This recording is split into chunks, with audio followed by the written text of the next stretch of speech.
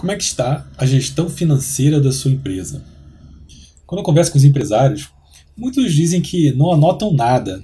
Toda a parte financeira vai acontecendo, ele vai recebendo dinheiro, pagando contas, comprando mercadorias e acaba não anotando nada. Né? O que sobra ali no final do mês é o que ele acredita que é o lucro. Muitas vezes acaba nem sobrando nada. Ele vai vivendo ali só no giro. Algumas pessoas anotam algumas coisas numa folha de papel e tentam fazer o seu controle financeiro, a gestão financeira da sua empresa dessa forma. É, eu acredito que desse jeito você talvez conseguisse fazer algum tipo de controle de caixa, mas não fazer necessariamente uma gestão financeira da sua empresa. Algumas empresas elas utilizam um caderno, né? aquele famoso livro caixa, né? fazer anotações ali de entradas e saídas, e aí já seria algo um pouco melhor né? para poder fazer a gestão financeira da sua empresa. Mas da mesma forma, é um controle de caixa. Você está apenas controlando a situação atual do seu negócio, o dia a dia ali da empresa. Você não está fazendo ainda a gestão financeira da sua empresa. Outras empresas anotam algumas informações em uma planilha. Então, o que ela acha que é importante, ela vai lá e coloca numa planilha.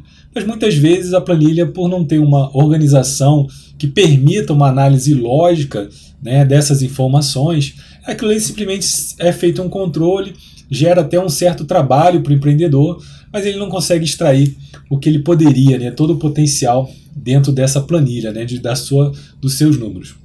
Alguns já fazem um fluxo de caixa, que é você utilizar realmente uma planilha no Excel e fazer a, todo o seu controle financeiro, todos os créditos e débitos. E aqui não estou falando de contabilidade, estou falando de gestão financeira empresarial, que é algo bem mais simples e aí sim fazer uma projeção é, da sua empresa, um controle melhor da sua empresa.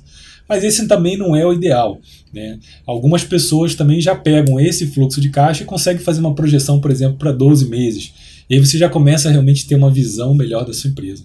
Mas o ideal mesmo é a empresa que consegue fazer uma projeção para pelo menos 12 meses da sua gestão financeira.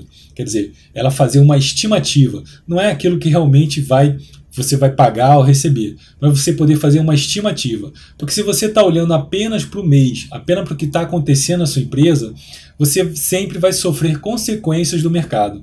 A partir do momento que você fizer um planejamento, né, você projetar o seu fluxo de caixa para 12, 24 meses, aí sim você vai também é, determinar as ações necessárias, os investimentos que você precisa fazer para atingir o faturamento que você gostaria. Então esse, esse seria o auge ali de você realmente conseguir fazer a gestão financeira da sua empresa. Espero que você tenha gostado. grande abraço. Sucesso!